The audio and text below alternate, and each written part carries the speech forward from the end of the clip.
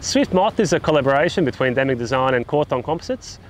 We came together and we wanted to design the best and fastest moth we could. That was the primary design objective and every decision we made throughout the whole process has been against that. So that was the, the main focus. We really wanted to improve the aero of the boat. We felt that that was one of the big areas we could focus on. We also wanted to reduce the weight and we wanted to improve the usability so that things like fall tacking a little bit easier which will bring more performance. And you know, the Damic Design brand has always been about improving the performance of uh, sailors on water. So we uh, wanted to also improve the construction processes and Brad was instrumental to that with his um, experience that he brought to the project.